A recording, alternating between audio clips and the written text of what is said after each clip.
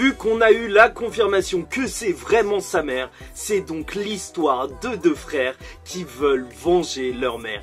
Et c'est juste magnifique.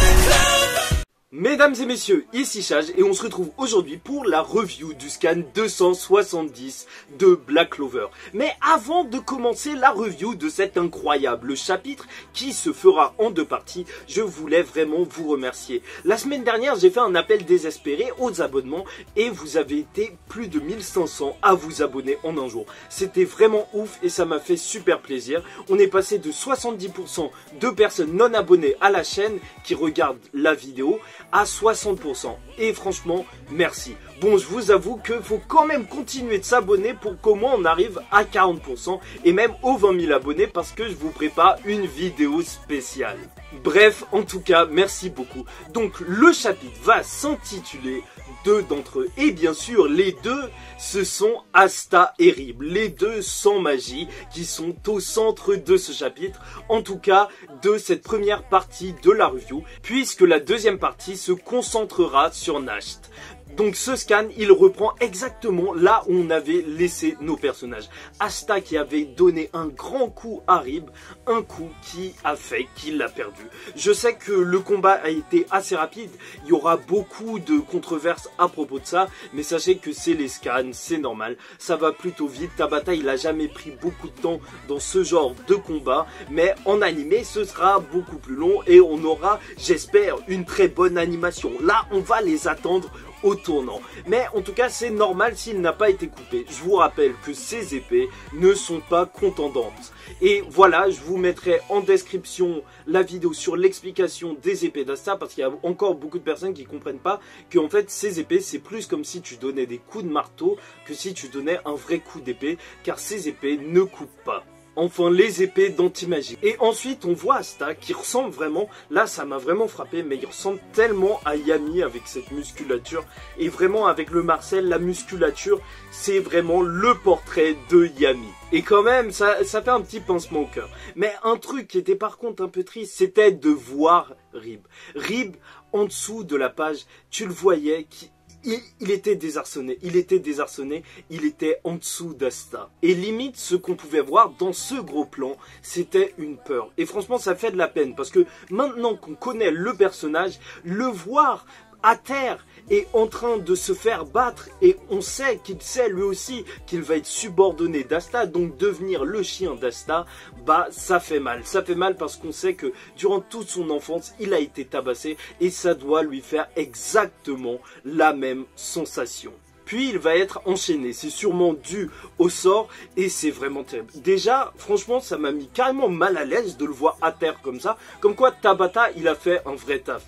On est passé d'un démon qui était monstrueux à vraiment un personnage qu'on apprécie et ça fait vraiment de la peine de le voir comme ça. Et c'est vraiment dégueulasse hein, parce que ça fait un petit peu un truc en mode esclavage et franchement, c'est malaisant. C'est franchement malaisant. Mais c'est fou de se dire que juste en 2-3 scans, maintenant on a de l'empathie pour ce personnage. Par contre, ce rituel, il est tellement humiliant que je me dis qu'au bout d'un moment, au bout d'un moment, c'est sûr, c'est sûr, chers camarades, c'est sûr et certain, il va y avoir un démon qui aura le somme contre les humains. Parce que pour l'instant, on sait que les démons, de base, la plupart, ils se sentent ultra puissants et ils aiment jouer avec les humains, genre les torturer, les tuer. Sauf que là, avec un rituel comme ça, tu te dis que s'il y a un démon qui a été enchaîné, mis à terre comme ça, il doit avoir le somme contre les humains. Mais clairement, et franchement, j'ai hâte d'un moment voir un démon qui aurait vraiment, voilà, cette haine contre l'humanité. Nash qui va donc annoncer à Asta que maintenant que le combat a été remporté, ils peuvent passer au contrat parce que tout le but de ce combat, c'était bien évidemment d'établir un contrat. Mais c'est un contrat un petit peu chaud quand même, hein, parce que maintenant que Asta est dans une position avantageuse, il peut subordonner son démon et utiliser son pouvoir comme il veut. Et le démon n'a pas le droit de refuser. C'est vraiment l'esclave de la personne qui réussit à le battre. Et il y a des obligations. Et Nash, il va carrément parler de familier. Comme quoi le démon, il va devenir véritablement comme ton animal. Un animal que tu vas pouvoir maltraiter, tu peux faire ce que tu veux avec.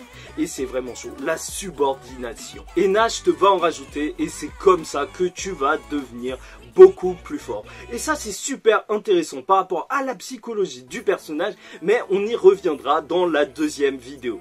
D'ailleurs, en voyant Rib enchaîné au sol comme ça, je me dis que Dante, il aurait jamais réussi à mettre Lucifer, le roi des démons, au sol comme ça. C'est pas possible. Franchement, je pense que la Dark Triad, elle a eu un autre type de pacte. Ça a dû se passer différemment. Mais je pense qu'il y a des indices par la suite dans le scan. Et là, on va passer à un moment, mais il était juste excellent. Parce que Asta, il va demander à Rib d'être son ami. Et bah, Rib, il va pas capter, il va pas capter, il va se dire, mais qu'est-ce qu'il me raconte?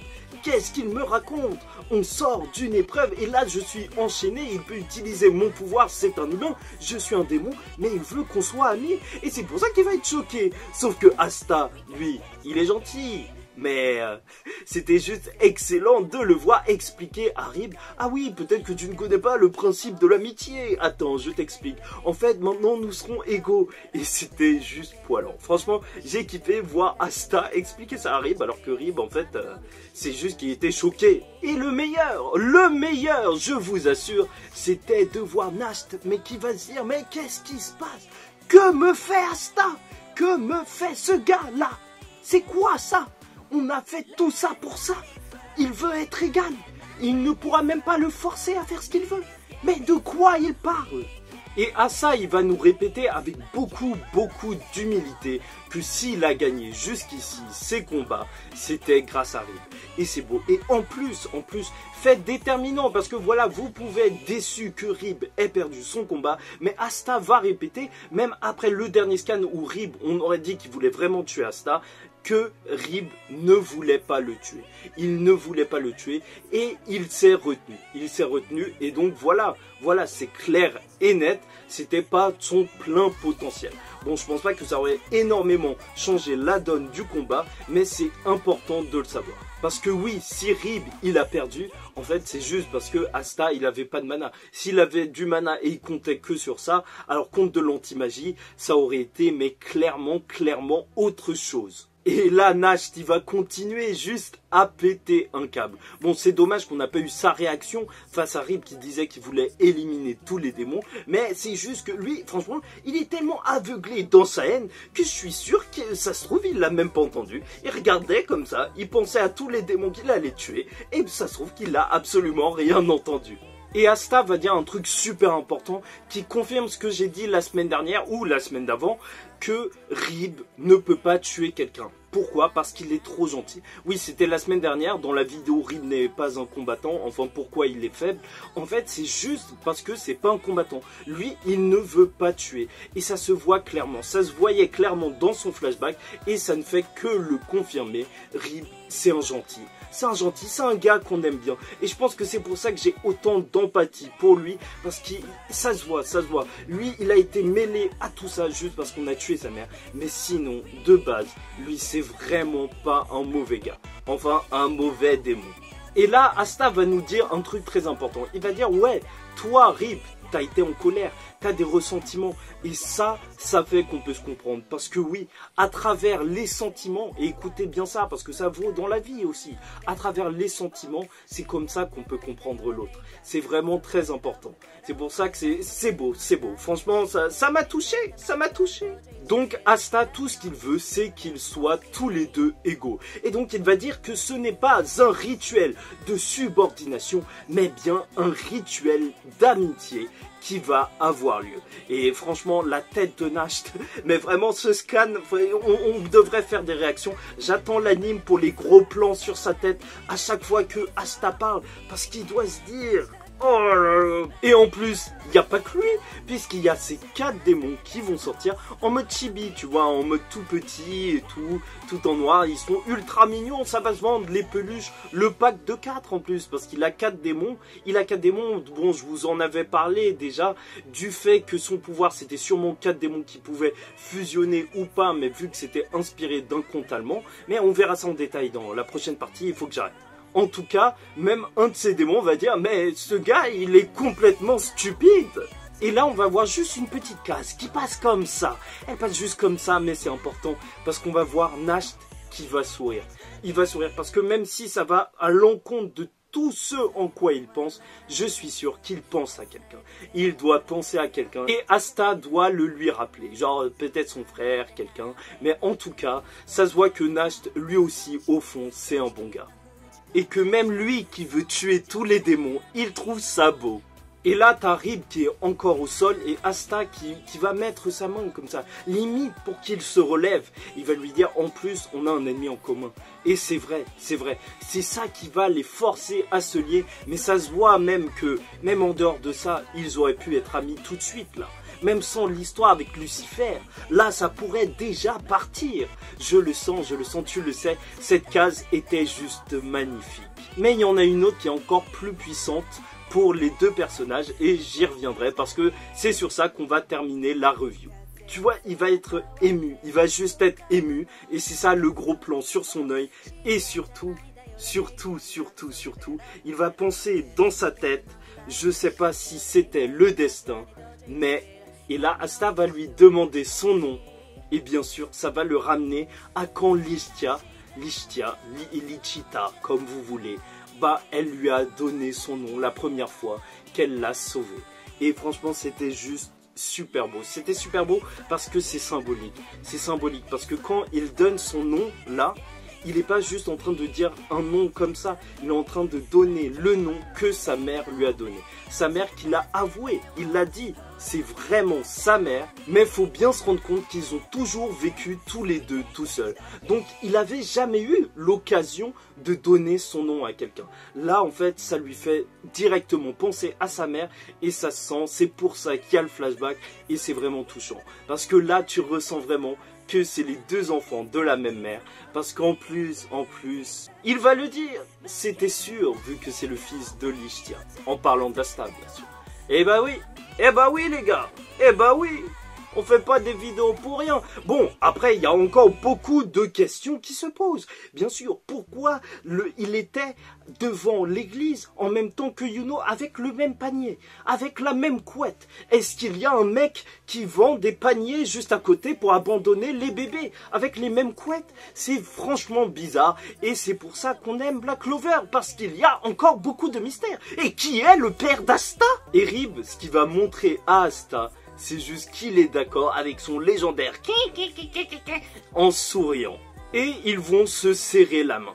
Et je veux m'arrêter sur cette case avant de passer à la deuxième partie de la review parce que cette case est juste magnifique.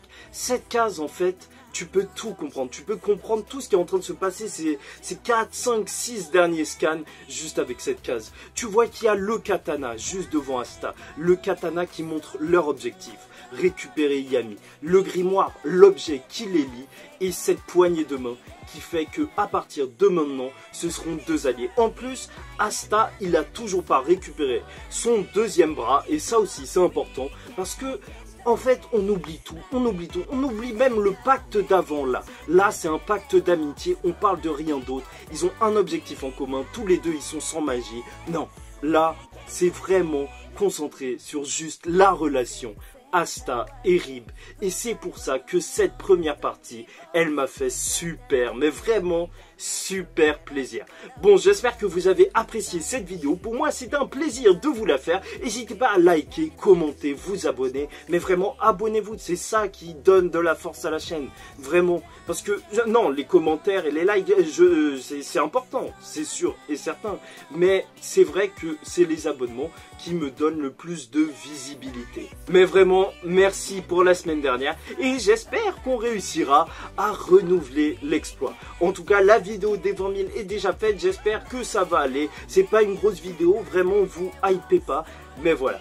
Bon, bref, on se retrouve très vite pour la deuxième partie. Je vous dis ciao tout le monde et à tout de suite.